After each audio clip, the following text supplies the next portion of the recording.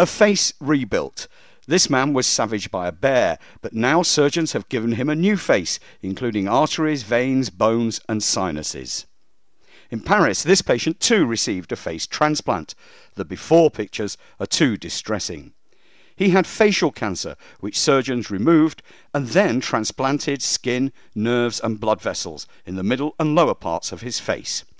Doctors planning face transplants here are delighted by these successful operations. Uh, certainly, the French case has been able to walk down the street without anyone passing comment, and before that had a very difficult time walking down the street and going out in public, and basically became a recluse because he would get uh, names called and he would get stared at and pointed at. And actually, the majority of patients we see have the same problem.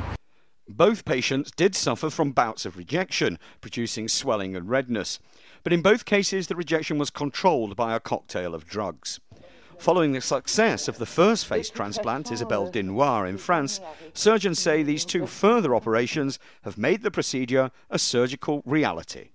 Doctors here at the Royal Free Hospital in North London are greatly encouraged by the results of the world's second and third face transplants. Rejection hasn't proved to be an insurmountable problem, and the difference the operations have made to the patients' lives are immense. Lawrence McGinty, ITV News at the Royal Free Hospital.